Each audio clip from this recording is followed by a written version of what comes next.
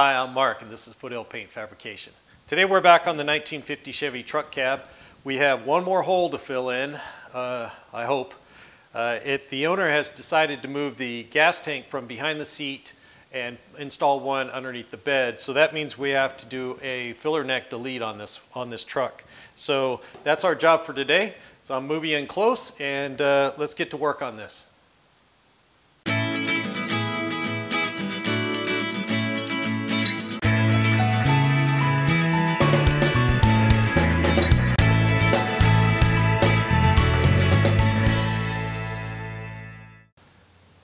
Okay, here's the where the filler neck came out. And as you recall, uh, this truck has a lot of paint jobs on it, so there's a pretty good low spot around it since nothing was ever removed when all during all those paint jobs. So we are going to be a little bit low anyways. Uh, once we weld this uh, patch panel in there, uh, we're going to fill this and feather it right out to the paint, hopefully, and it's going to be a piece of cake. So uh, for once. Now, the owner actually went out and bought a uh, pre-made patch panel and it seems like it has the right shape. So it's just going to fit right on there. And that's actually pretty cool. So I don't have to make one and bend one to the radius. And it looks like it matches pretty well. Uh, but before we uh, get to fitting this piece, I want to confirm that this the curve of this cab is nice even where the hole is. So to do that, I've got my little uh, kind of inexpensive uh, profile gauge here. And I'm just going to slide it over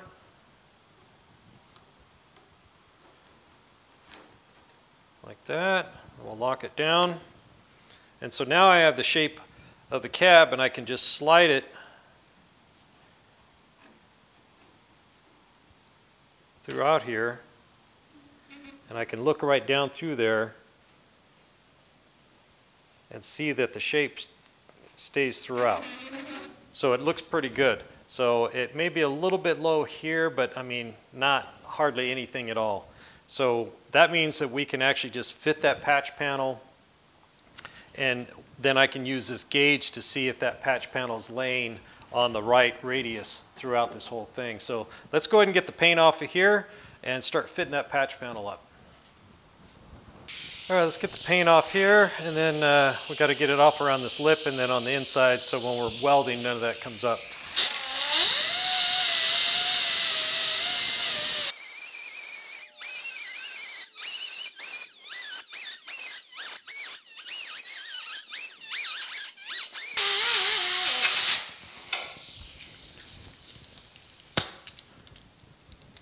To get the, uh, the paint off this lip on the inside here, I'll just switch over to a wire wheel and uh, we'll get that all taken off real well and then we'll start fitting the patch panel.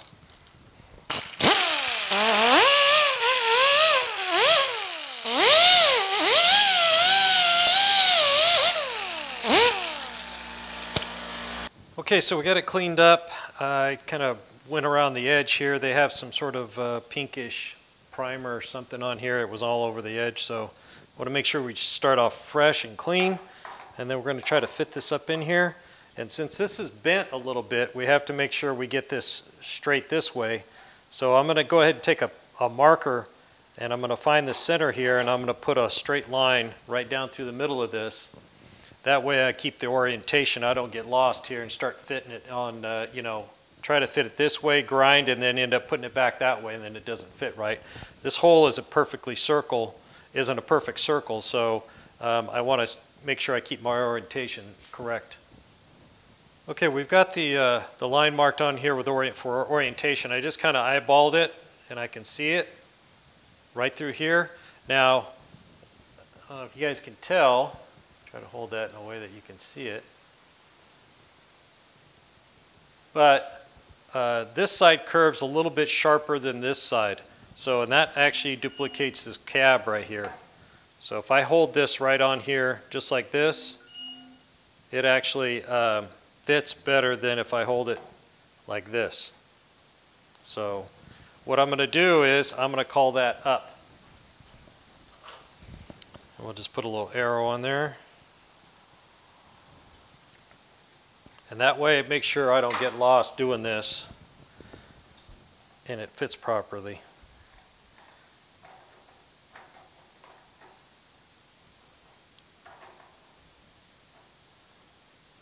And what I'll do is I'm going to get this to fit down inside this hole. Then I'm going to take that profile gauge uh, by and have a magnet holding this up, and then I'm going to slide that over the top to see how it looks.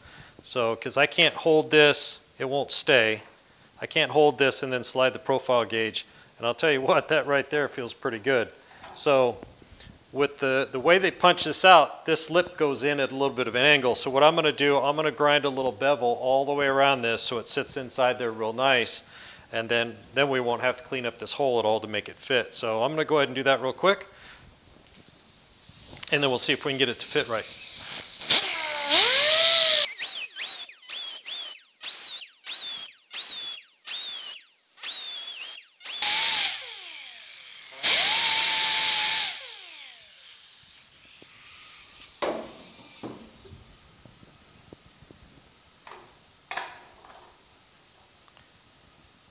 Just that little bit of taper made all the difference right there.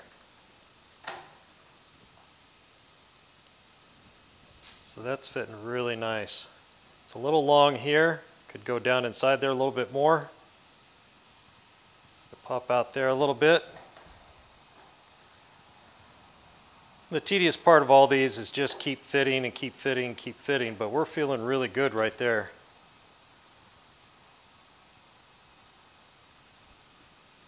Feels real good. Feels real good there. Feels pretty good there too. I would just need to take a little bit off length. And the way I'll figure out where I need to grind is I'll look from the inside out and I can see the, the, uh, the light coming through and I'll be able to tell where it's touching. And that's where I need to um, go ahead and grind some more. And that's feeling really good right there.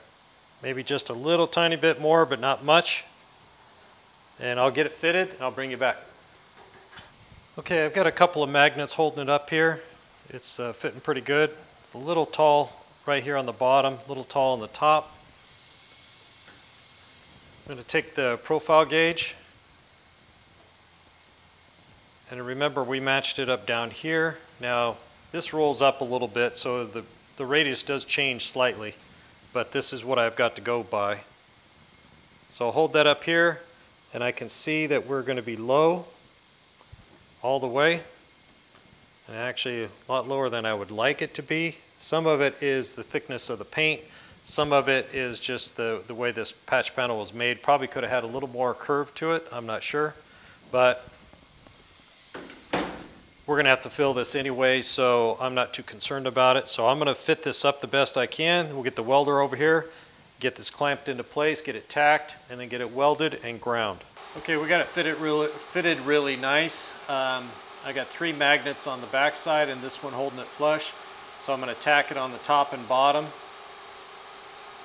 And then maybe have to tap it a little bit to get the others to line up. So let's see what we can do here.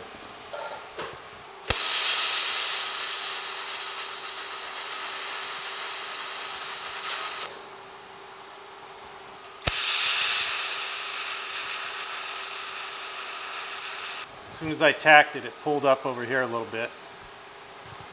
That doesn't look bad. Feels good here. Needs to go in a little bit there, a little bit in there.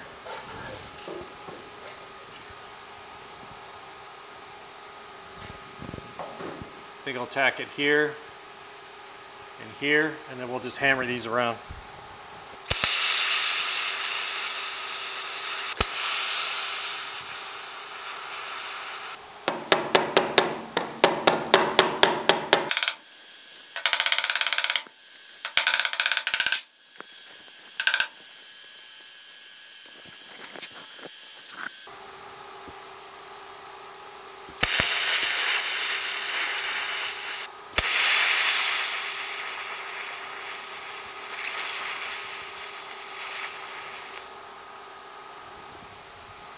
Okay, I got it tacked. I'm going to go ahead and uh, just let this cool a little bit. I'm going to grind the tops off of these tacks, and then once it's cool, I can check it to see if it's uh, flat or flush.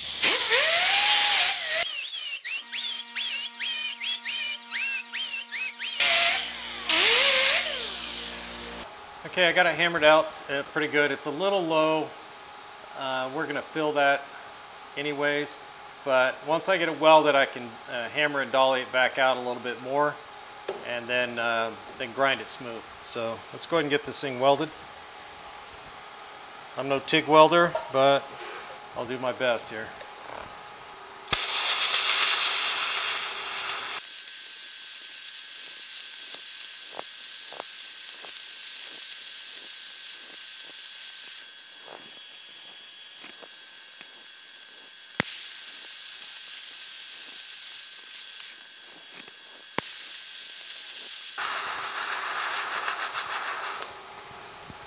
Okay, got it, uh, got it welded up. I ground the lip on the inside completely flat and then hammered and dollied the uh, weld. First I ground the tops off, then hammered and dollied the weld, and then I dollied it out so this shape uh, is really nice. Checked it with a profile gauge. Not perfect, but it looks pretty good all along there. It's a little low, but it's pretty consistent, so it's kind of riding up on the thickness of the paint here. Um, and then if I run the straight edge this way, it looks pretty good too. So pretty happy with the way that came out. Uh, next step, we got a little low spot right here. I just tapped out a little bit with a dolly. So we're gonna have to grind back here. I found a little body, uh, body filler right in here. So we're gonna grind it back a little bit all the way up to here. And then um, We'll get some uh, body filler on this, and then we'll get it roughed out. And uh, first I want to scuff this whole area, so when the body filler goes past, it sticks. The, the owner had already sanded uh, the whole cab very well uh, with some 320, but so I'm going to go ahead and rough this out with some 80 grit more than likely. And then after we grind this, then I'll uh, rough that out, and we'll get some body filler on this thing. Okay, spent a little time. I roughed it up around the exterior like we talked about, and then um, I hammered and dollied it out a little bit more once I got that lip on the backside ground off. Um, I was able to dolly it out even better. So it's looking really good. Then I hit it with uh, some 36 grit on my big sander and uh, just kind of remove the paint back till I knew it was nice and sound on here tight and it wasn't affected by any of the heat or hammering and uh, blew it off real well and it's ready to be filled. So we're ready to fill this and if there's anything left on the, um, on mixing board, then we'll jump to the firewall where I, we filled all those holes and kind of flatten that out a little bit and fill that little rib right there and get that sweetened up. So let's, uh, let's get some body filler mixed up and get this filled. All right, let's mix up some body filler. Stirred up the can real good. It had been sitting a while since we did the uh, bed. I'm going to need a lot but I plan on going over to the firewall. So I'm going to make a little bit more than I probably should. 60 degrees in the shop, so I'm going to add a little more hardener than I would in the summertime.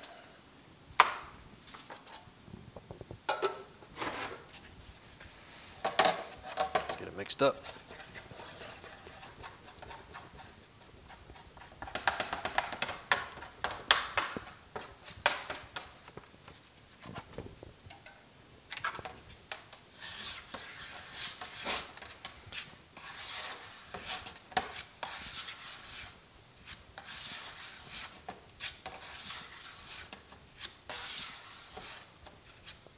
Looks good. Swing you around. Okay, I know that this is a little low here, so what I'm going to do first is I'm going to concentrate, just lace them down here, pushing down like always. Make sure we're getting a good physical contact to that base metal. And then I'm going to tick a little bit more. And now we're going to go and pull to these edges of these paint. Instead of going this way over it, I want to pull into them because they're feathered down, okay? And that's just simply to make sure that we get good physical contact and there's no air bubbles up inside there. Just like that. And once we get all that done, then we know we've got a good physical base and then we can lay it over the top.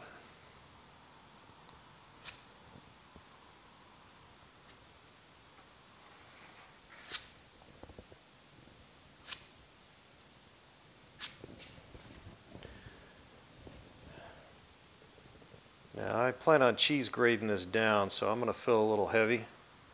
I don't want to come back and do this again. But I might need to.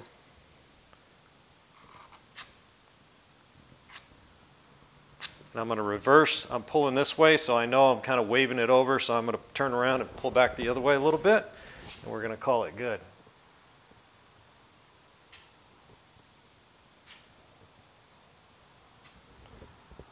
And I'm going to stop right there. Let's go over to the firewall.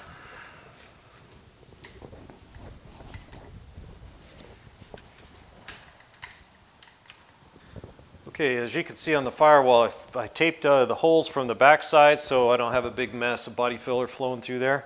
And then um, I went ahead and masked off the area just because it's going to be hard to sand. And this is just a firewall. I don't want to spend a lot of time on it. So this is our main repair right here. And I want to push down in there and get that filled nice and tight. I don't want to lightly skim over this. I want to make sure that the body filler is pushed into all the pores of the metal and everywhere else. First, just like we did on the other one. And by covering all these holes, I don't have to dodge anything. And I'll probably just sand this with a DA, so I'm not too concerned about it.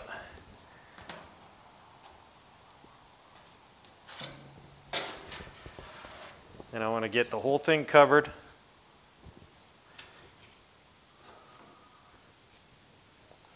and then we'll start smoothing it out.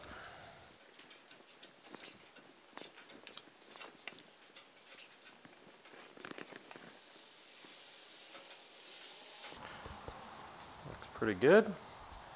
Pull in over here. And we've got that raised rib right there that we're going to have to work around. I'm going to come down to it and then we'll work around it.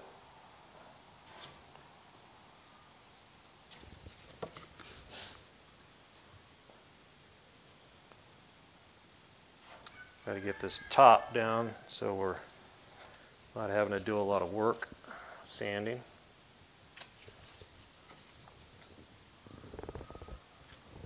The last little bit of body filler off the board.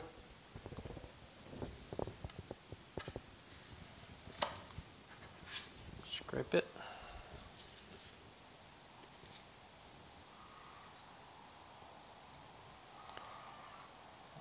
Come down, up and over.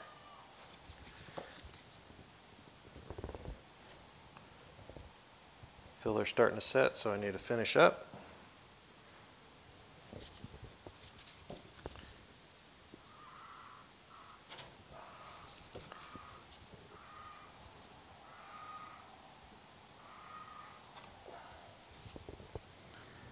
That looks pretty good right there. So I'm going to stop. It's starting to set up.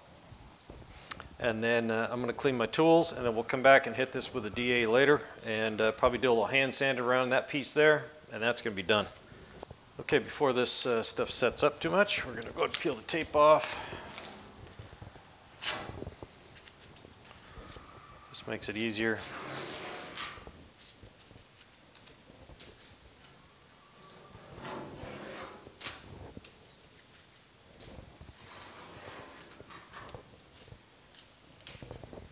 That's it. Let's go over and cheese grate that, uh, that other piece. Okay, it's just about ready. It's maybe a little, little past ready to be cheese grated. Uh, just about right.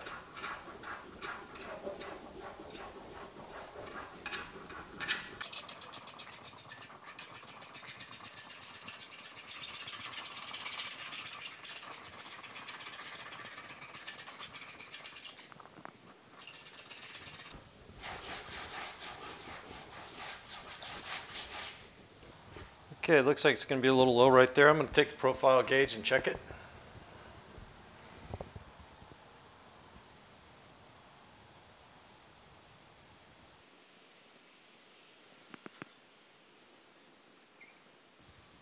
Okay, it's really close, but it is low right here.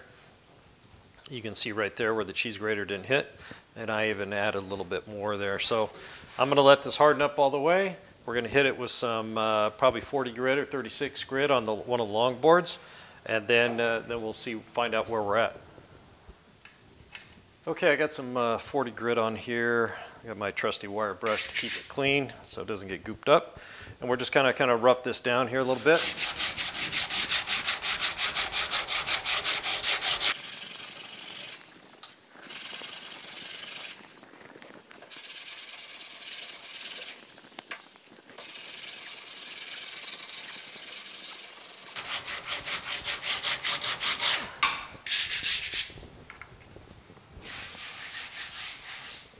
Okay, my intention will be to cover this whole thing again. So uh, as you can see, you can see my grind line in there.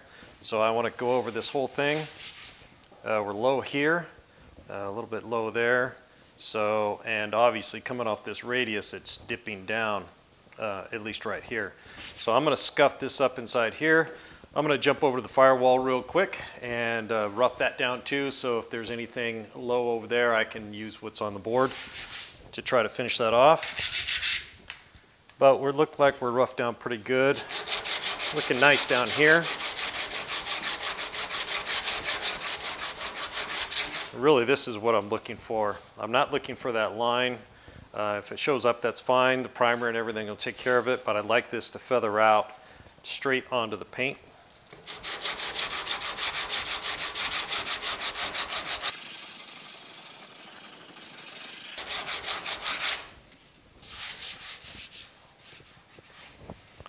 Feels pretty good right there. So I'm going to take a piece of uh, 40 grit or something just on my thumb and I'll scuff this down in here. We'll blow it off real clean and mix up another batch.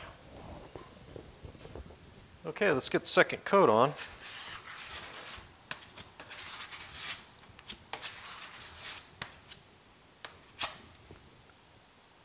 Now we're really good over here, so I'm not going to be messing around over there too much. Pushing down still really hard. Make sure we get in all the pinholes, all the sand scratches.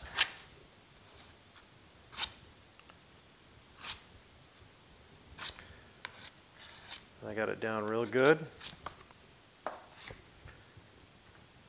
Around the edge here.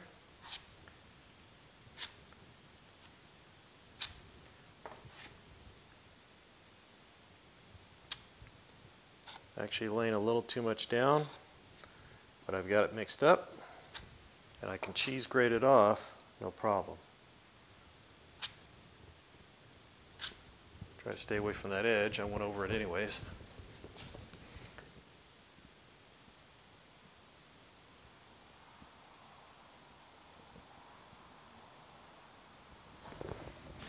That's looking pretty good. Whoa! That's looking pretty good right there.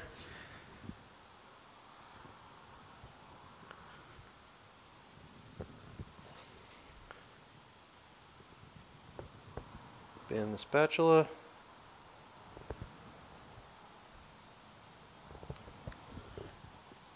And that looks pretty good. I'm going to stop right there. And that should be enough.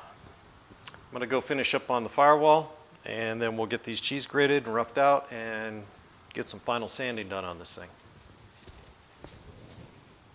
Okay, since I did uh, pretty much a light skim coat over this whole thing, a little heavier in the middle where we were low, um, I'm just going to be very careful with the cheese grater and not tear up the sides. I'm going to try.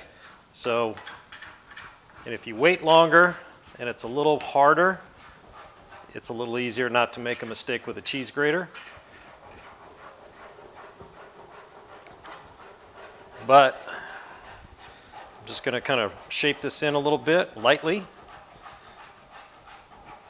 because I really tried to lay down the material, the body filler, uh, uniformly, except for where we were low right here.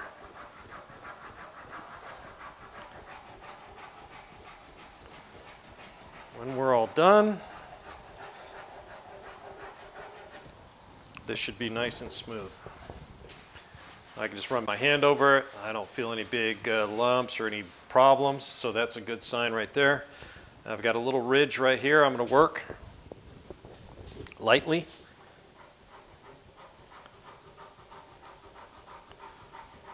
And this just reduces how much sanding we got to do, right? So if you feel like you laid it down really nice, Um, you can just kind of run the cheese grater over the top, knock the real ridges off, um, and then, you know, let it set up a little bit, and then move straight into sanding with the coarse grit 36 or 40. Like I talked about in the other videos, you want to rough this stuff in with really coarse sandpaper because you're sculpting, not smoothing at that point. And I'm going to stop right there before I screw it up.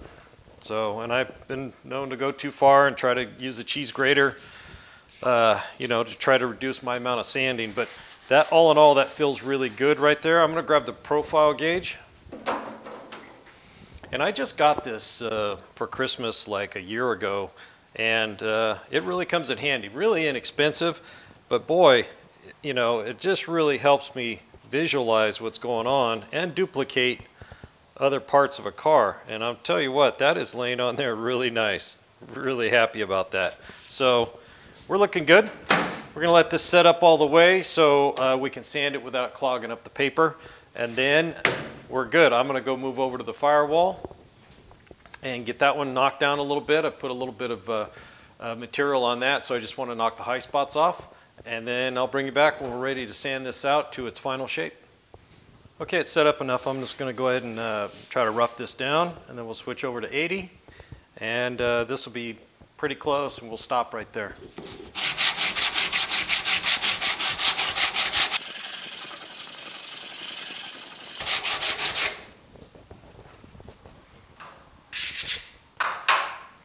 And I'll continue to go, you know, kind of a diagonal. Um, right here it's a little flatter, so I'm going to go just straight up and down.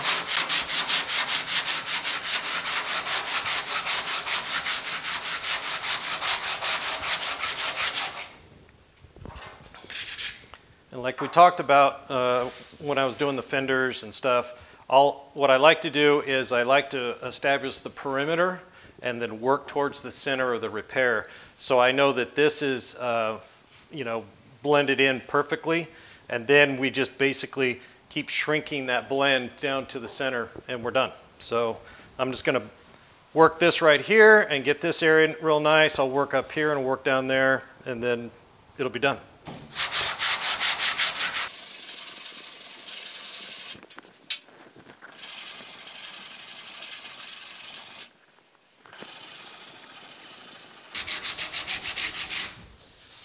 I'm going to try to keep my sand scratches just right in this area and try not to get too big. We can finish this off with the 80. Um, if I chase a bunch of sand scratches all the way up to that seam, then it's going to be a bear to take them out. So try to be careful.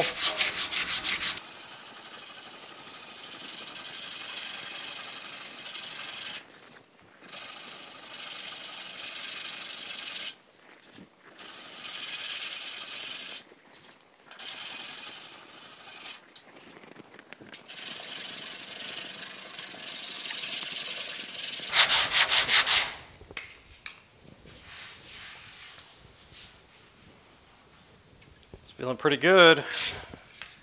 Got a little bit right here and a little bit up here, but I think I'm going to do that with the 80. We've got this carved in pretty nicely. It feels good. I'm going to hit it just a little bit more. Get a little bit up here that I don't like.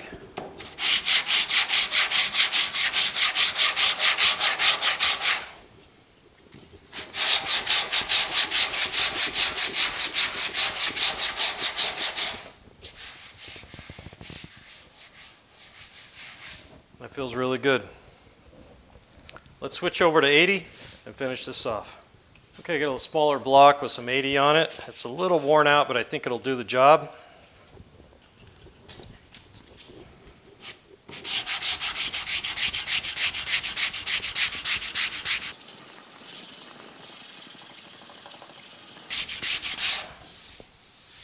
And I'll follow the same rule. I'll work around the perimeter and then I'll bring it back to the center.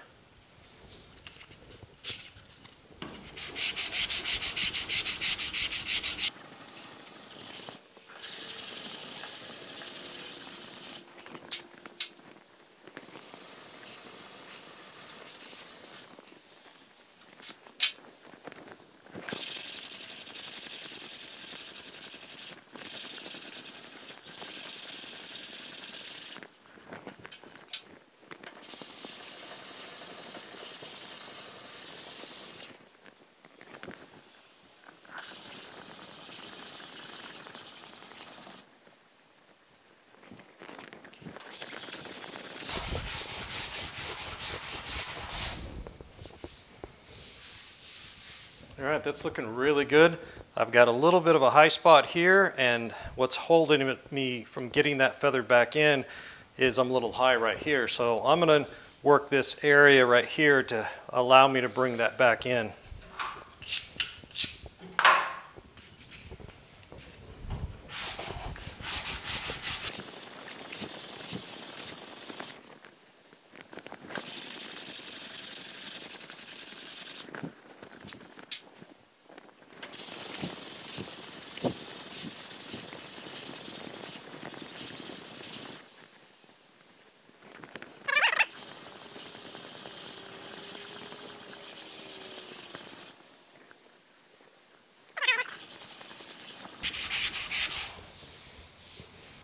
All right, so that's all done. Um, we're at 80 and I'm gonna stop there until the, I get all the other stuff done on the cab. And then I'll come in probably with some 120 and sand this again. And then uh, we'll make sure we take care of all these sand scratches, maybe with some glazing. Um, we got little dings here and there all over the truck. So those are gonna have to be filled. So we'll go through, uh, we're gonna do a, um, a whole sand on this whole truck anyways again to make sure it's nice and flat and I don't miss anything. So that's done right there. Okay, we got this all roughed down to 36 and now down to 80 and uh, it feels really good. And we're gonna stop right here at 80. I got some sand scratches around the perimeter that need to be taken care of, but there's a lot of little nicks and uh, dings all over the cab that uh, I'll probably use glaze on, catalyzed glazing. And I'll, I'll come over here when I'm doing that same time, just more efficient, and I'll glaze these sand scratches in and take care of that at the same time. But we, uh, we got the uh, filler neck uh, patch panel welded in, dollied out, hammered out, and then now we have it filled. So it feels really good, really happy. Uh, and I'm also really happy to get the, this is the last hole to weld in in this cab. Uh, we ended up at right 27 or 28 holes uh, total welded in, you know, all the holes filled on this cab. It was a lot of holes, some small, just screw holes, but a lot of them pretty good size holes. So it was uh, quite a bit of work of welding, cutting patches, and uh, grinding and all that. So I'm really glad to get this part over with, trust me. But it came out great. It's going to look great when it's done, and I'm really happy with, uh, with the progress. My TIG welding still needs a lot of work, but uh, I muddled through and got it done, and I'll keep practicing, I promise. But that's it for today. Uh, thanks for joining me here at Foothill Paint and Fabrication. If you're watching this video and you haven't subscribed yet, please consider doing so. I really appreciate it. And if you like what you saw, give me a thumbs up. I really could use the support. We'll see you on the next one.